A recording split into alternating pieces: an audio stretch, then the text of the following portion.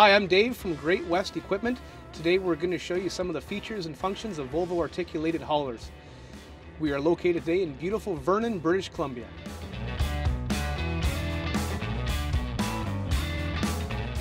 Now we're going to discuss our OptiShift. It works similar to reverse by braking in our wheel loaders in the fact that if you are in reverse and you want to toggle to drive when you're still moving in reverse, it will not smack the transmission into the different gear.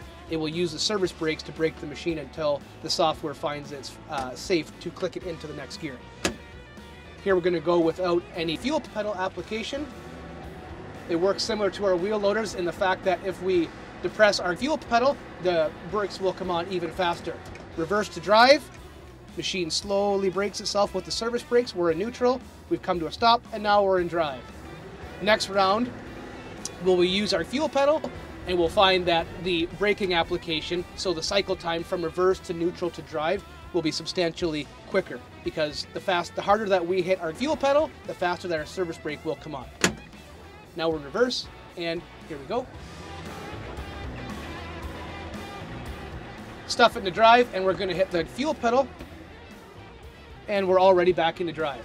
So within about half the time, it will brake the machine quicker, and again, cycle from reverse to neutral to drive, again, without any impact on our transmission. Upon reversing, if we shuttle the transmission into drive, our OptiShift will use the service brakes to brake the truck before engaging the drive gears. Reverse, now we're going into drive. You'll see here our service brakes are applied before our truck shifts into drive.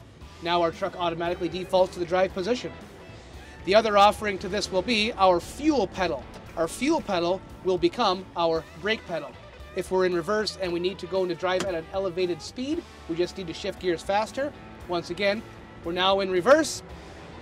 We're going to shuttle shift into drive, but we're going to use our the fuel pedal. You can see that will now brake the truck and shift into drive even faster yet. The harder you depress the fuel pedal, the faster the service brakes will come on to offer a quicker cycling time from reverse to drive.